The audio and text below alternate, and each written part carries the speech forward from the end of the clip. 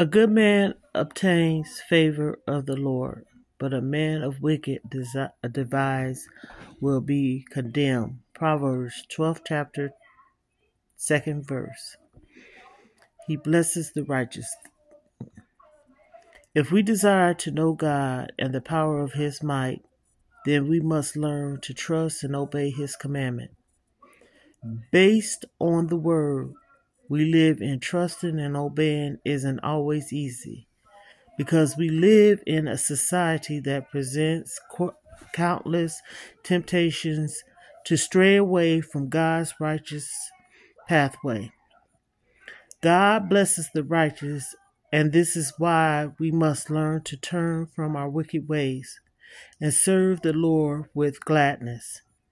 When we are confronted with temptations or sin, we should walk or run in the opposite direction.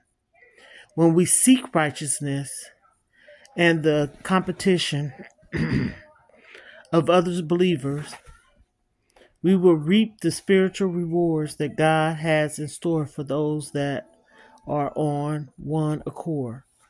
Our commitment each and every day is to live a righteous life so that we may enter into the kingdom of heaven. All throughout the Bible, it is minds us, reminds us, I should say, of our great reward. If we live and do according to God's commandment.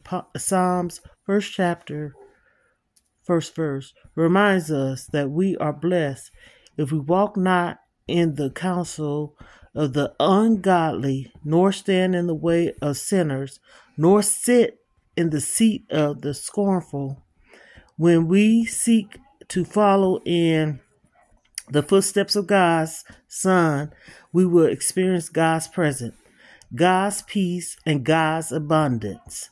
When we choose to grow spiritually, we can then be prepared to reap the blessings that God has promised to all those who live according to His will, His purpose, and His word. Prayer. Righteous God, I know that you are perfect in all your ways, and you have called to me to be your righteous servant. Lord God, I know there are things I struggle with, but I know you are the potter that will shape and mold me into what you want me to be. Lord, leap and guide me from the temptations of the world, so I might live in a life pleasing unto you. In Jesus' name I pray. Amen.